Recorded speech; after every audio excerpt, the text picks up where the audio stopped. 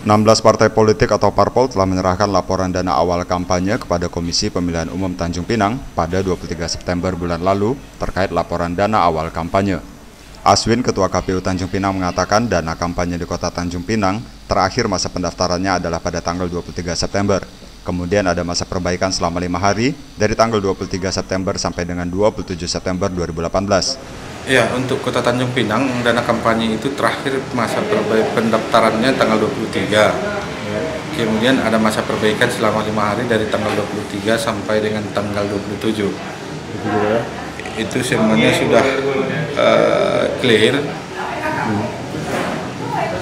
Yang paling besar itu dananya PDIP, dana, dana awal kampanyenya.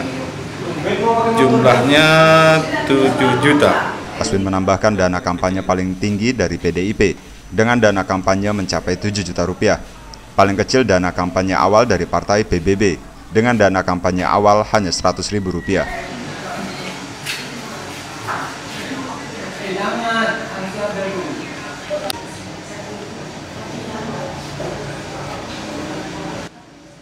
Dari Tanjung Pinang, Kepulauan Riau, Muhammad Holul melaporkan.